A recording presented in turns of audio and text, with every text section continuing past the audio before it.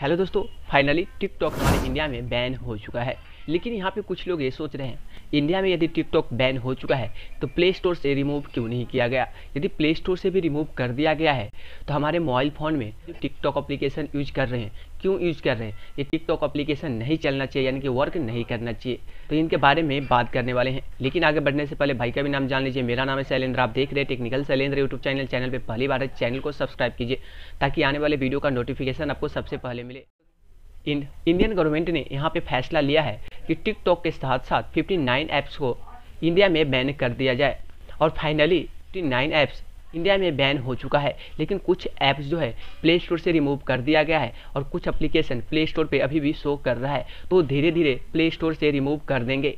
अब बहुत ही जल्द आपको टिकटॉक एप्लीकेशन भी प्ले स्टोर पर देखने को नहीं मिलेंगे। शायद मैं जब वीडियो में शूट कर रहा हूँ प्ले स्टोर पे यदि आप सर्च करते हैं टिकटॉक अप्लीकेशन तो शायद मिल भी सकता है या फिर शायद नहीं भी मिल सकता। तो आप सोच रहे होंगे स्टोर से भी रिमूव कर दिया गया। तो ये टिक अप्लीकेशन वर्क क्यों कर रहा है? जो यदि आपके मोबाइल फ़ोन में ऑलरेडी पहले से टिकटॉक अप्लीकेशन यूज़ कर रहे थे तो आपको यहाँ पे वर्क करेगा। यानी आप अभी जो यूज़ कर रहे हैं, आप फ़िलहाल में यूज़ कर सकते हैं। जब उसे आप अनइंस्टॉल कर देंगे तो डाउनलोड करने में प्रॉब्लम हो सकता है। लेकिन फिर भी यदि यूज़ करना चाहते हैं तो वीपीएन सर्वर के द्वारा टिकटॉक एप्लीकेशन यूज़ कर सकते हैं। कुछ लोग ये जानना चाह रहे हैं इंडिया में टिकटॉक एप्लीकेशन के क्यों बैन किया गया?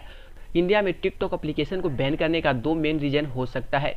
नंबर वन लद्दाख में इंडिया और चाइना के बीच में जो लड़ाई हुए थे तो हमारे देश के 20 जवान शहीद हो गए थे। लोगों के लिए काफ़ी बुरी खबर था। ये एक मेन रीज़न है और ये ज़रूरी भी था, क्योंकि टिकटॉक अप्लीकेशन इतना बुरा अप्लीकेशन है, आप सोच भी नहीं सकते, क्योंकि इसमें जो हमारे पर्सनल डाटा को यहाँ पे लीक कर रहा था, जैसे कि टिकटॉक अप्लीकेशन आप इंस्टॉल करते हैं तो यहाँ पे आपको कैमरा का परमिशन माँगता है फ़ोन का परमिशन माँगता है, यानी कि आप लोग यहाँ पर अलाउ कर देते हैं तो ये हम लोगों के लिए खतरा भी था।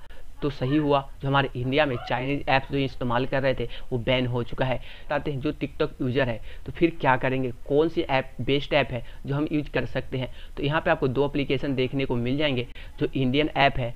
टिकटॉक एप्लीकेशन की तरह ही है?